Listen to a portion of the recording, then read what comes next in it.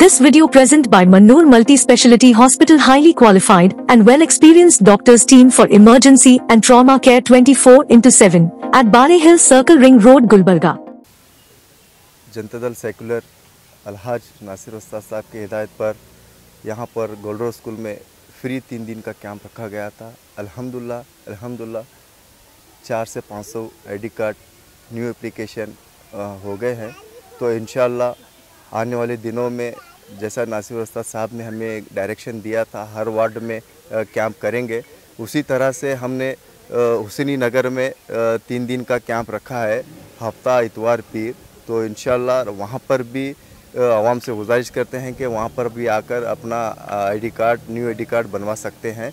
यहाँ पर गोल्ड रोस में जिस तरीके से काम हुआ है अलहमदिल्ला बहुत अच्छा हुआ है, चार से पाँच सौ के करीब करीब अभी तक शाम तक हो जाएँगे। तो यहाँ पर आज शाम तक का एंड है।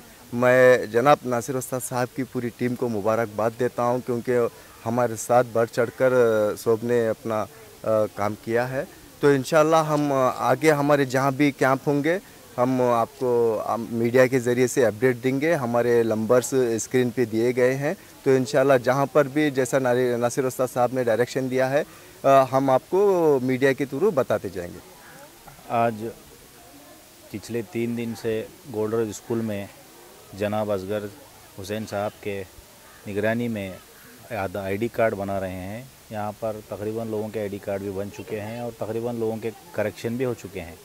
तो मैं जितने भी यहाँ के मोहल्ले के लोग हैं लोग हैं यहाँ पर आइए और इन जहाँ जहाँ ज़रूरत है वहाँ पर भी कैंप करेंगे। नाजिर हुसैन उस्ताद जी ने कहा कि जहाँ जहाँ ज़रूरत है वहाँ पर करिए। जहाँ करेक्शन है, जैसे कि बहुत से वोट डिलीट हुए हैं, खासकर जो कर्नाटक में अब इशू चल रहा है कि तकरीबन वोट यहाँ पर डिलीट हो चुके हैं मुसलमानों के। मुसलमानों के वोट फिर वापस डालने के लिए हम कोशिश करेंगे और काम करेंगे। जब तक चालू है, जब तक ऐड कराएँगे जितने भी डिलीट हुए उतने पूरे इंशाल्लाह ऐड करेंगे इंशाल्लाह।